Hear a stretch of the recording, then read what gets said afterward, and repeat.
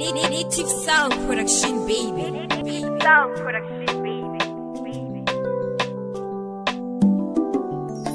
I wanna marry you.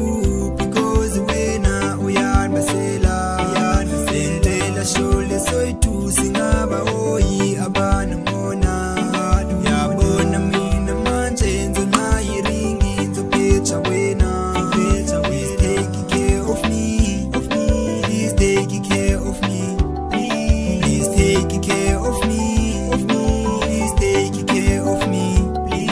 ndiyacela sithanda sam wena uzindikhathalele sothengela iringi ngoku mna nditsho njengamanje noba sendilele emaphupheni ndincokola nawe oko xa ndisho ngesibilini ndizibona ndiliqhawe thando lwakho liyandenzisa intliziyo yam uyayixolisa oko wena uyanjabulisa funa ukuthi uyangcunisa ubuthanda kundibukela wena xa ndidlala ibhola sibuye siye ndlini sikhisane uthi kum ndibaba manje ngoku ndifuna ukutshata mna ndikwenza umam ekhaya lejendira uyakuthanda futhi soze wakudlala kunikuthando ndicinga wabungavumi ndicinga kududuma kwabe kunesithoto sisiwikhethika tampu naye wabe xotha umakhulu wabe ebhebhela ayikuba bengafuni babebona wena ufeba gqiba ingingqi wambulalwa elalini besizashera ngoku ndizotshata usiphathe kakhe mntani umuntu uzindikhathalele mane undibonise ubuntu ungafani nomancobo mane undikhombe ngembumbulo uzofani nomacube mane lowo ngumamkhulu i wish ndifuza ukhokho babekhala bemdumisa abantu bebonwabisa bemhleke bajabulise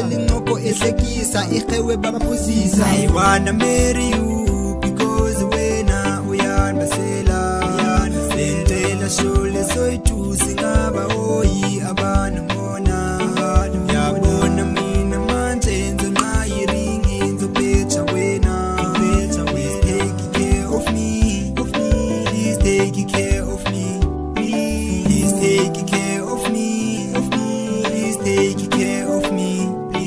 khantembisa esithandwa sami ukuba uzenikhathalela thando lwethu sobabini lona suka kujehova noba ndisho ngesibilini eshimani kuvela wena ndikhumbule ngezamini ndandiqala nokubona ndavele mna ndajabula ndaphelelwa nangamandla mnabhebhi ndithanda wena mna lafu ndikhetha wena bayeke abanomona bazimoshela nje ixesha oluthando luyakude noba indlela inameva kwenzima ubhekabheka kwenzima uphumelela izinto ziyenzeka abantu bayahleka ndimane ndikhubeka ngesone esagqithayo ngombono wenzekayo ngenkolo yakho wabo ndifuna umtshato wakho chazela umama wakho chazela utata wakho ukuba sisixhabane ngezinto zalo mhlaba wancede wandithanda wena uzandiphekela impahlo zenhlambela izitya xa zintaka kojasi ndizokuhlambisa naxa ugqibohlamba umbize ndizokuthambisa hayiwana mary you.